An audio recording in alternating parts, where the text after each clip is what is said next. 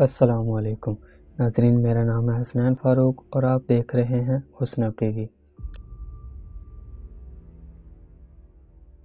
नाजरीन, आज हम बात करेंगे किला रवात, सुल्तान सारंग और इसके सोलह बेटों के बारे में।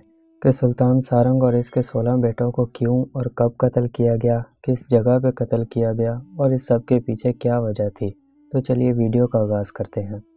सुल्तान सारंग ने 1520 से 1540 तक हुकूमत की और इनके वालिद का नाम था तातार गखड़ नाजरन, ये वाक़ तकरीबन आज से पाँच सदियों पहले पेश आया था, जब शेर शाह सूरी के बेटे इस्लाम शाह को जब यह खबर मिली कि सुल्तान सारंग खान अपने सोलह बेटों के साथ किला रवात में मौजूद है। इसी दौरान मुग़ल बादशाह ज़हीरुद्दीन बाबर जब हिंदुस्तान आया तो अटक में इसकी मुलाकात, इसके इतिहादी गखड़ कबीलों के सरदार तातार खान और इसके बेटों सारा खान और आदम खान से हुई। शहजादा हुमायूं भी इस मुलाकात में शामिल था। मुलाकात में सारंग को फ़र यानी शान शौकत का तोहफ़ा दिया गया। सारा खान ने कहा कि जो दोस्ती और शान शौकत का तोहफ़ा आपने मुझे दिया है, मैं आपका और मुग़ल सल्तनत का हमेशा वफ़ादार रहूँगा। इसके लिए मुझे चाहे अपनी जान ही क्यों ना कुर्बान करनी पड़े।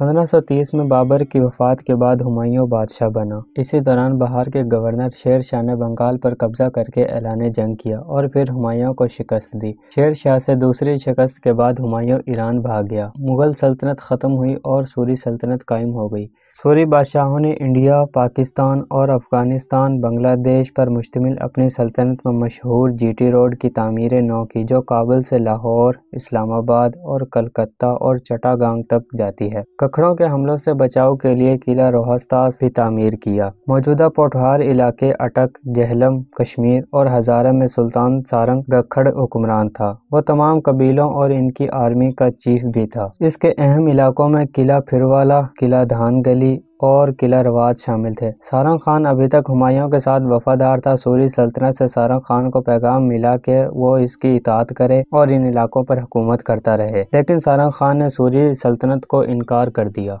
1546 में इस्लाम शाह ने अपनी फ़ौज के साथ किला रवात पर उस वक्त हमला किया, जब सारंग खान मौजूदा किला रवात में मौजूद था अपने 16 बेटों के साथ। सारंग खान के 16 बेटे एक एक करके इस पर कुर्बान हो गए, फिर सारंग खान को भी गिरफ़्तार करके कत्ल कर दिया गया। इस्लाम शाह सूरी ने सारंग की नस्ल को ख़त्म करने की कोशिश की, लेकिन सारंग खान के बेटे कमाल खान और सैयद खान और इलावल खान ज़िंदा थे। सारंग खान की नस्ल के बाद उन्होंने दोबारा ये इलाके फतह कर लिए थे। पहले आदम खान और फिर कमाल खान ने इन इलाकों पर हुकूमत की। गखड़ों ने रोहस्तास भी ले लिया था। सारंग खान के दूसरे बेटे सैयद खान के नाम पर सैयदपुर इस्लामाबाद का गाँव आज भी मौजूद है।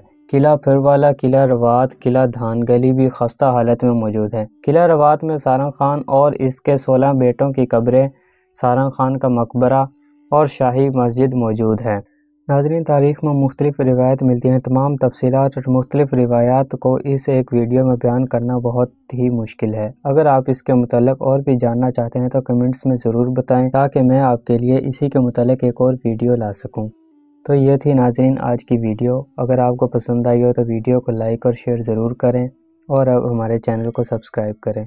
अब मैं मिलूँगा आपसे ऐसे ही एक दिलचस्प वीडियो में। तब तक अपना बहुत सारा ख्याल रखिएगा। अल्लाह हाफिज़।